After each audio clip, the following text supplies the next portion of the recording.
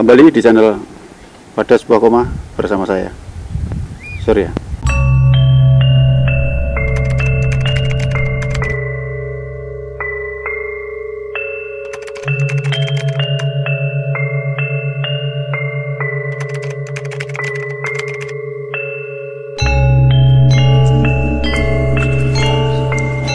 Hari ini kita berada di Kecamatan Prambanan, Kabupaten Sleman, Daerah Istimewa Yogyakarta. Dan tepat di belakang saya terdapat sebuah candi yang bernama Candi Banyu Nibo.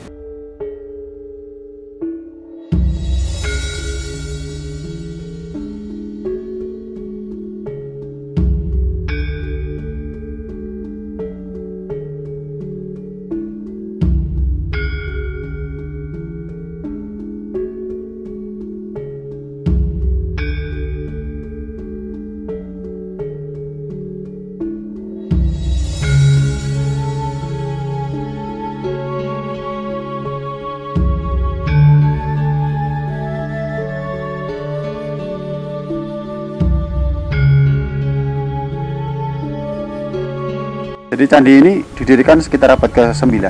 Jadi abad ke-9 itu sekitar tahun 800-an. Jadi kalau kalau dalam sebuah catatan mengatakan ini didirikan pada abad ke-9, maka candi ini dibangun pada wangsa Kerajaan Medang atau Mataram kuno dari wangsa Sailendra. Candi ini beraliran Buddha. Dapat dilihat dari atap candi itu uh, berbentuk semacam kayak dagoba jadi berbentuk stupa sedangkan di sekeliling candi ini terdapat kayak sawah, sawah yang sangat subur. Tempatnya sangat enak amat nyaman. Candi ini terdiri dari satu bangunan utama dan enam perwar atau candi pengiring. Sedangkan pewara-pewara yang ada di sini itu masih dalam bentuk reruntuhan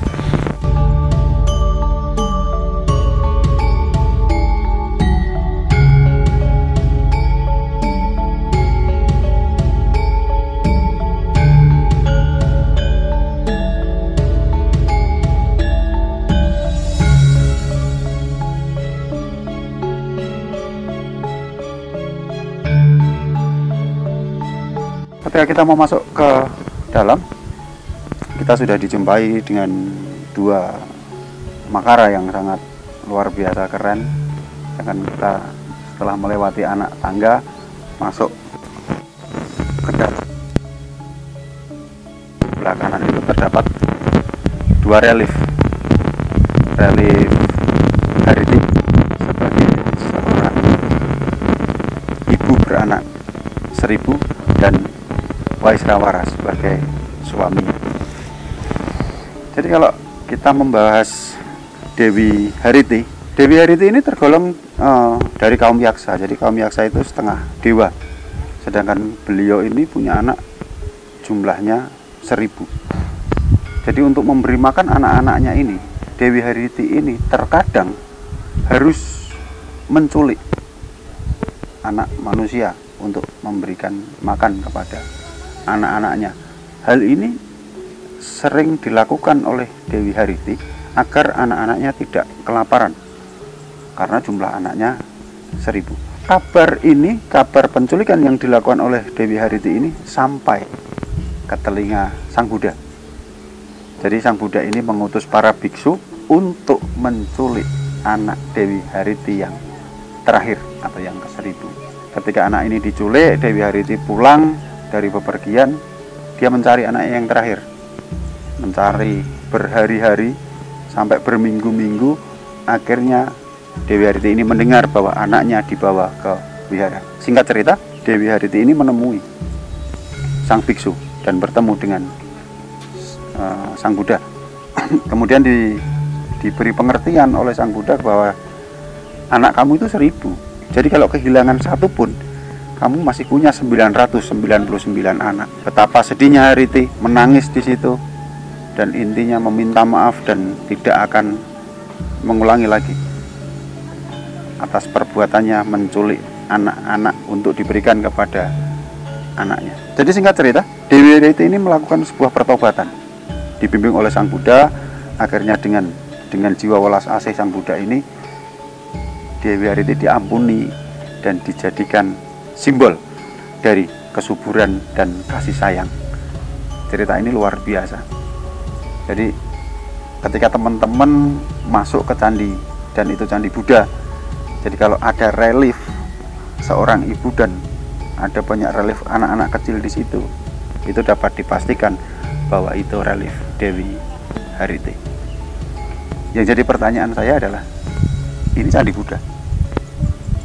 Kenapa di situ ada beberapa arca nandi atau semacam kayak sapi tunggangan Dewa Siwa?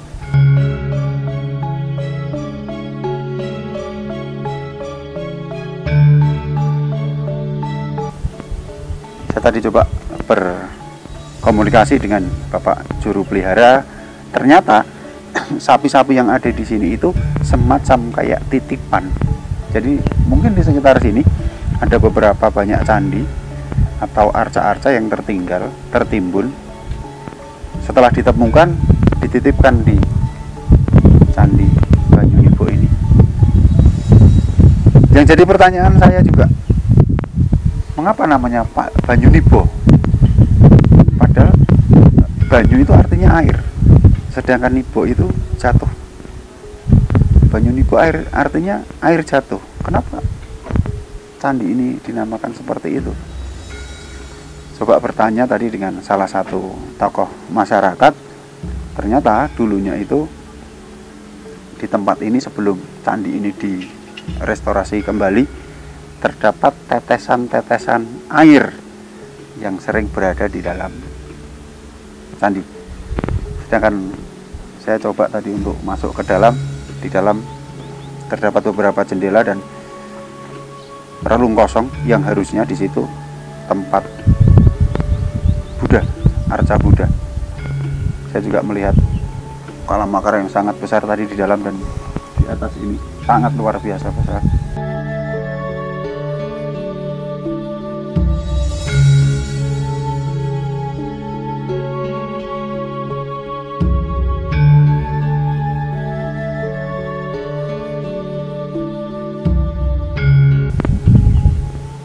Tadi mengelilingi candi ini terdapat beberapa jalawadra.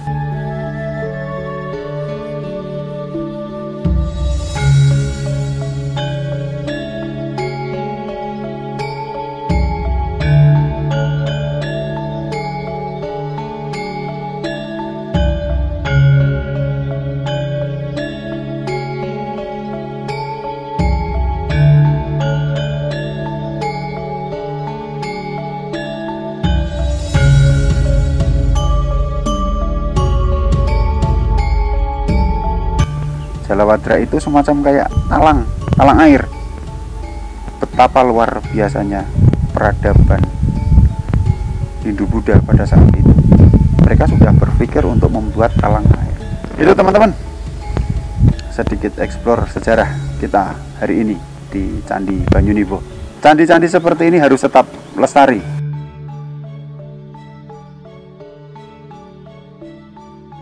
Kuatkan iman, tetap percaya pada Tuhan karena kita hidup berdampingan